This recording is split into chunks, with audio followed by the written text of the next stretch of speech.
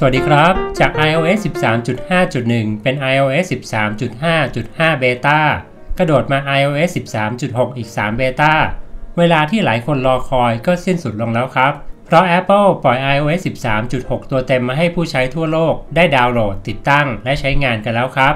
เวอร์ชันนี้จะมีความเร็วและการใช้งานแบตเตอรี่เป็นยังไงบน iPhone 6s Plus เราไปทดสอบ แล้วไปดูคำตอบพร้อม ๆ กันเลยครับเราไปเริ่มกันที่การทดสอบความเร็วด้วยแอป Geekbench 5 ผลลัพธ์ที่ได้ iOS 13.6 ตัวเต็มทำความเร็วในส่วนของ CPU Single Core ลดลงเล็กน้อย และ Multi Core เพิ่มขึ้นนิดหนึ่งครับ ความเร็วแทบไม่ต่างจากเดิมเลยครับสำหรับการทดสอบในส่วนของ GPU หรือการประมวลผลด้านกราฟิก ผลลัพธ์ดีขึ้น เร็วขึ้นกว่าเดิมได้อีกครับ และเร็วขึ้นพอสมควรอย่างน่าทึ่งเลยครับ แล้วแบตเตอรี่จะเป็นยังไง ความเร็วดีอย่างนี้แบตเตอรี่จะดีขึ้นด้วยไหม หลังจากที่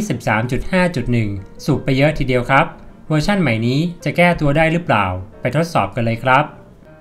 สำหรับการทดสอบแบตเตอรี่จะวัดด้วยการจับเวลาต่อเนื่อง 1 ชั่วโมง ดูว่าแบตเตอรี่ลดลงไปมากน้อยแค่ไหน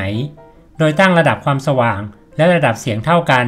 เริ่มต้นที่ระดับแบตเตอรี่ 100%เท่ากัน สุขภาพแบตเตอรี่เท่ากัน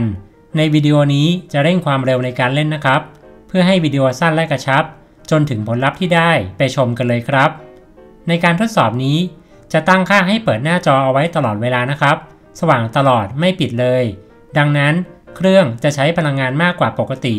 ต่างจากเวลาที่เราใช้งานกันจริง ๆ ที่มีการเปิดหรือปิดหน้าจอเป็นระยะ ไม่ได้เปิดเอาไว้ตลอดเวลา ในการใช้งานจริง เปอร์เซ็นต์ของแบตเตอรี่จะลดลงน้อยกว่านี้นะครับ หลังผ่านไป 1 ชั่วโมง ผลการทดสอบ 3 ครั้งบน iPhone 6s Plus ผลลัพธ์ที่ได้ปรากฏว่าสูบแบตเตอรี่น้อยกว่า iOS 13.5.1นิดหนึ่งครับ โดยใช้ไป9%เหลือ 91%ในขณะที่ iOS 13.5.1 ใช้ไป 10%เหลือ 90%ผลลัพธ์ด้านแบตเตอรี่ประหยัดขึ้นกว่าเดิมนิดนึงครับ ก็ยังดีกว่าแย่ลงครับ การอัปเดตเป็น iOS 13.6 ตัวเต็มบน iPhone 6s Plus นี้ ความเร็วโดยรวมยังดี และแบตเตอรี่ก็สูบน้อยลงเล็กน้อย แม้จะเพียงเปอร์เซ็นต์เดียว แต่ก็ทำให้การใช้งานทั้งวันนานขึ้นอีกนิดครับ ดีกว่าสูบเพิ่ม เพื่อนๆที่ใช้ iOS เวอร์ชันก่อนหน้า